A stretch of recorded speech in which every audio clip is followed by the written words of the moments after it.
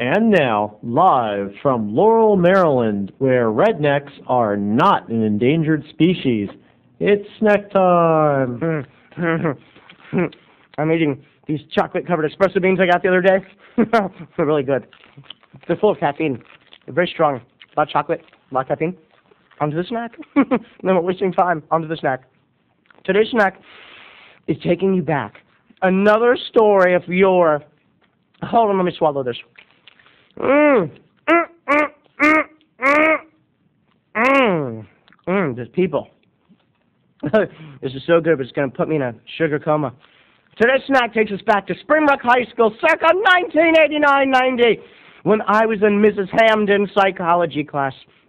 But snack boy, anyway, in Mrs. Hamden's psychology class, there's something you need to know about Miss Hamden. The nicest of ladies you ever want to meet. You can always get an A from her, no matter what you do. But here's the thing the woman wears the cheapest wig this side of Kmart. But Snack Boy, it is so not nice and so politically incorrect to comment on someone's wig. Oh, people, it was such a bad wig. You could see the net, the mesh net and the price tag right through the back of the wig. And I'll tell you one thing about Springbrook High School, people.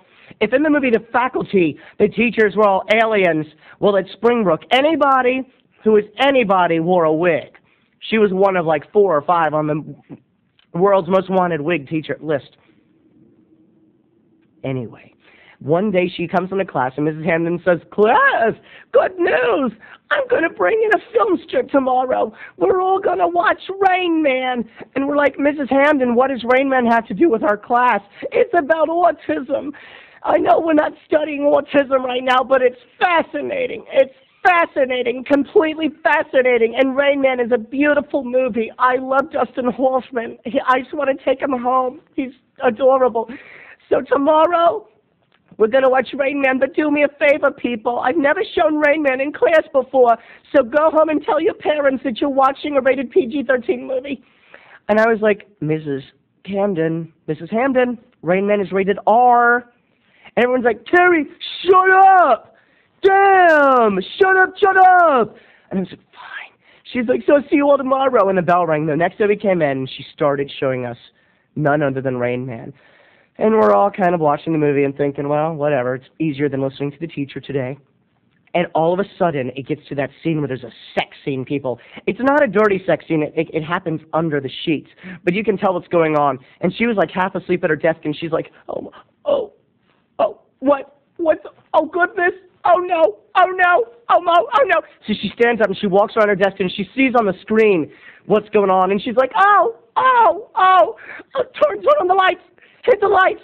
So this girl Heather jumps up and she turns on the lights and she's like, all right, okay, everybody, we're not watching Rain Man no more. We're not watching Rain Man no more. Okay, okay. And so she goes to the projector and she leans forward to find the off switch to turn the projector off when guess what gets caught in the spoke of the bigger projector wheel. That's right, Mrs. Hamden's wig. That's right, the top of her wig, the uppermost tier. It looks like a wedding cake. The uppermost tier of her wig crammed right in through the double bindings of it, the projector. And just as she realized it, it started to snatch the wig off her head with the rotation of the film projector. Oh, snack boy, what is this crap you're handing us? No, people, it's true. It really happened. And so I was sitting right there looking up at her, and and she literally was taking her whole body and circling with the rotation of the film projector, trying with gravity and weight and the laws of physics to keep the wig on her head. And I could see it as if in slow motion, like a Brian De Palma movie. The wig started to come off her head. It started to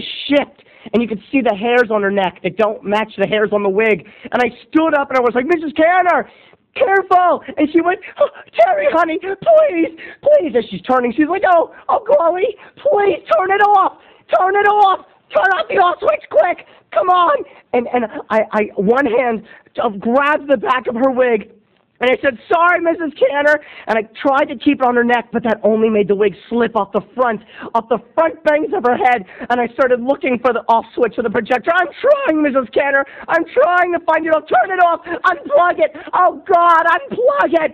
Please, please. And just then I found the off switch. And it spun to a stop.